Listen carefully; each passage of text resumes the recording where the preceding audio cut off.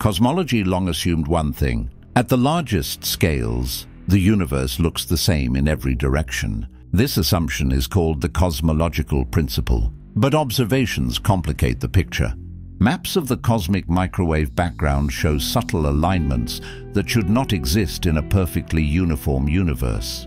Some large-scale galaxy surveys hint at slight directional biases. Certain cosmic structures appear unevenly distributed. These effects are small, but persistent. If confirmed, they would not break physics.